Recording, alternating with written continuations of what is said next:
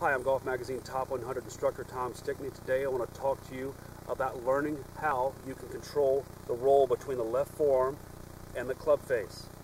This is a great little drill, these little chip shots I'm about to show you, to learn how the left arm, left wrist, and club face work together. You hit little chip shots and hold your finish. You look down. When I have a full release, the ball will tend to go to the left.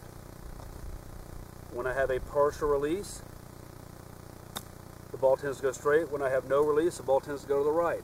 So by hitting chip shots with just your left hand only, whether it's out here on the practice tee or around the green, you will better understand how the left arm, left wrist, and club face work together because if you don't have control of that club face, it's going to be awful difficult for you to control the golf ball when it really matters.